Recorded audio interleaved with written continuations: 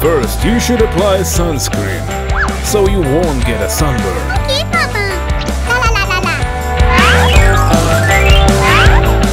Stop, stop, stop. Have you forgot your caps? Papa, now we're ready. Let's go.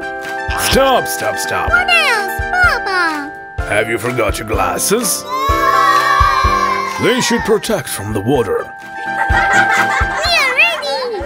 What about the floaties? Forgot?